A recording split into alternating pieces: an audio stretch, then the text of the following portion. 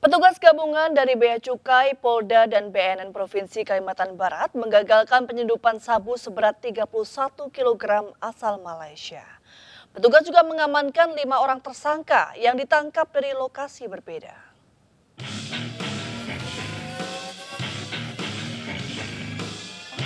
Inilah barang bukti sabu seberat 31 kg yang disita petugas gabungan BNNP, Bea Cukai, dan Polda Kalimantan Barat. Petugas juga mengamankan lima orang tersangka yang diringkus di lokasi berbeda. Dari keterangan para pelaku, barang haram tersebut diselundupkan dari Malaysia.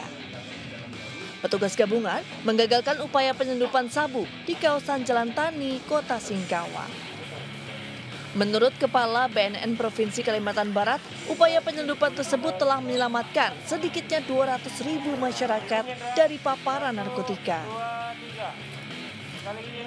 selama ini pengungkapan-pengungkapan terhadap uh, narkotika uh, jenis sabu khususnya itu pada umumnya adalah melalui negara tetangga kita sehingga perlu adanya satu koordinasi dan kerjasama yang lebih lebih uh, strategis lagi.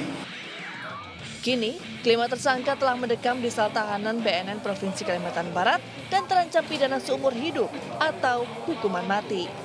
Dari Pontianak, Kalimantan Barat, Uun Yuniar, iNews melaporkan.